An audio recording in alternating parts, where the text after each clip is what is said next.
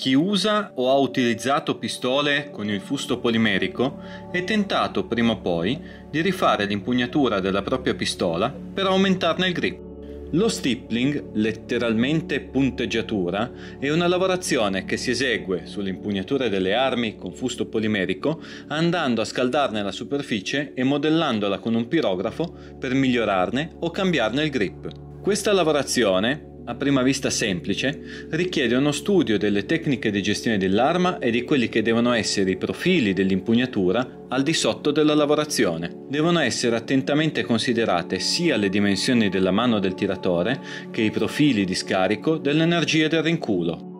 Un buon lavoro andrà così a migliorare la nostra sensazione di presa sulla pistola, sia come comfort di utilizzo, sia come sensazione di contatto vero e proprio con l'impugnatura.